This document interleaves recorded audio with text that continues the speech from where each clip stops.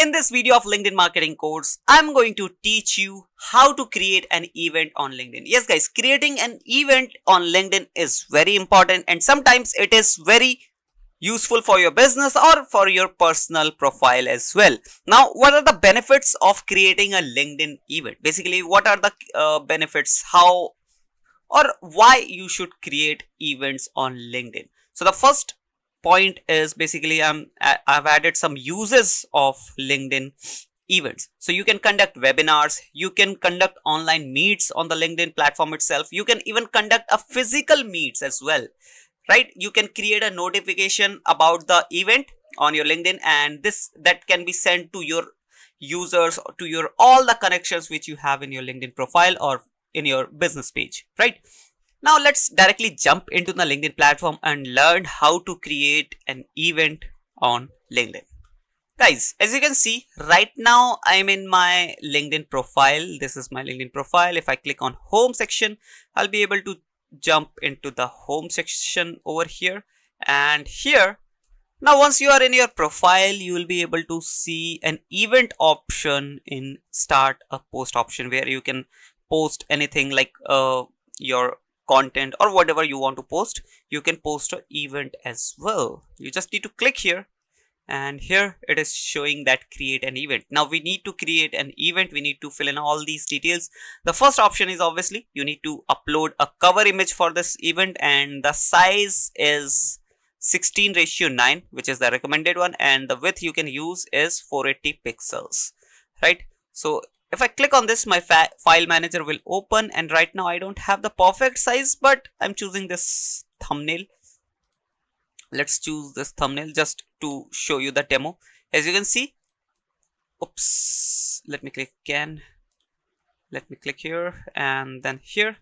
And now as you can see, there's some space left at the top and the bottom of this banner because this is not the perfect size, but let's use this one now if you want to add the alt text of this image basically you can uh, explain that what is this image is about so that the image can be SEO friendly as well. Then here if you want to do some editing in this image you can do that as well. Here you can zoom in like this right? So let me just zoom in so that it can be fitted in the uh, banner size right? As you can see like this now hit the apply button and the editing will be done. Now here we do we need to add other informations as well. Here you can set the organizer. Right now this is the organization uh, sorry the organizer is my own profile my personal profile but if you want to change the organization organizer sorry for that if you want to change the organizer you can change it to your business page as well it depends on you whatever the organizer you want to choose. Then the event type it is online or offline. Offline basically the in-person event right? So if it is an offline event you can select this. And if it is the online event you can select this right? It is totally up to you. Now here you need to add the event name. So let's add the event name mf digital meet. This is the event name i've added over here then you can select the time zone whatever the time zone you want to select in which country or the zone or the whatever the time zone you want to select you can select from here. There's not an issue right? It depends on you and your audience. Now the start date and the start timing. So the start date will be 6th of October 2023 and the start timing will be 2 p.m. is fine okay? So the end date is 6th of October itself and the end timing is 3 p.m. if it is one hour event and if I want to change it I can change it as well. Now if you want to remove the end date and time you can remove that as well it is totally up to you let's say if the ending time of the event is not decided right it can stretch up to two hours or three hours in that case you can just remove the ending time then here you need to add the external event link.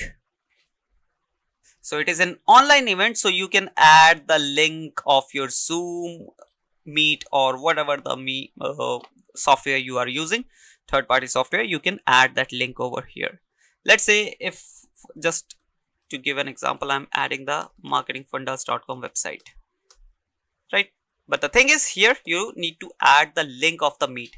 First you need to go to your zoom zoom application or if you use google meet you can uh, use that as well. And tons of other softwares are there in the market right? So what you need to do is you have to go to those softwares and create a meeting set the timings and get a link and paste it here so that your users can directly join that meet by clicking on the link from the event notification page itself right now here you can select use a linkedin registration form. If you want to use a linkedin registration form you need to add the privacy policy link. Because if you are using a registration form obviously you need some details like name number contact details right and all.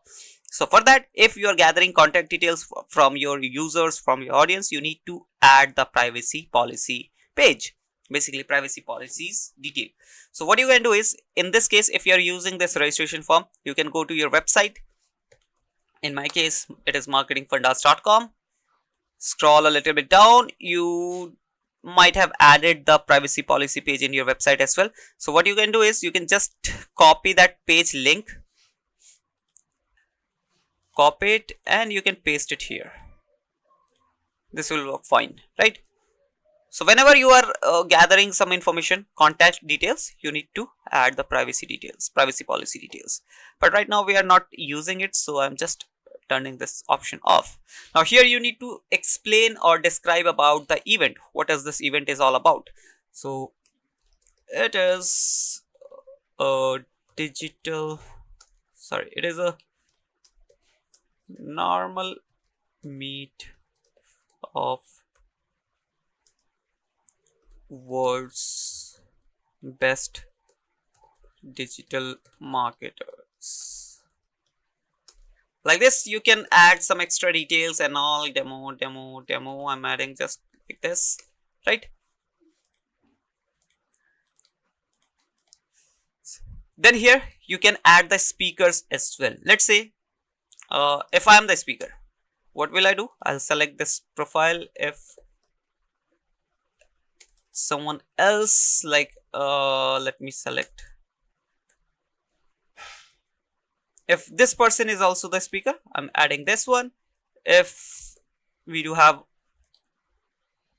multiple speakers i just need to select those speakers by searching their name. And one more thing those speakers should be in your connection list right? So keep this thing in mind so once everything is done about the uh, event details you just need to hit the next button. Here you need to add the caption or the content you want to add in your notification page basically notification details. And this is how your event notification will look like or event post will look like. Right?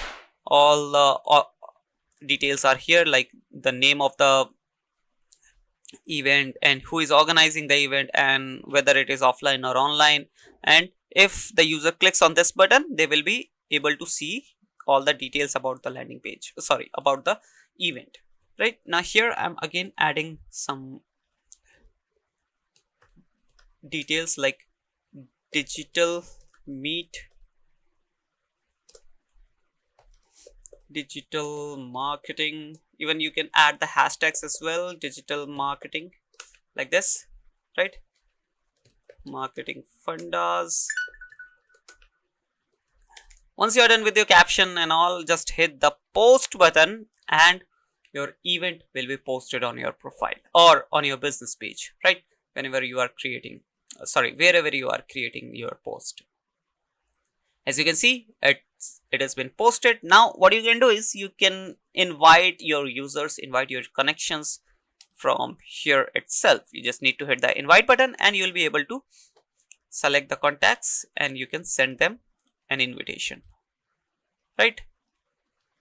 Just hit the invite button and this will send an invitation to the users or the connections. Right now i'm not sending it because this is just a demo event this is not a real event right? And this is how your event is looking like. I hope you got the point. I hope you understood the process how you can create an event how you can uh, create or conduct webinar whether it is online or if it's if it is offline event you can do that as well through linkedin software.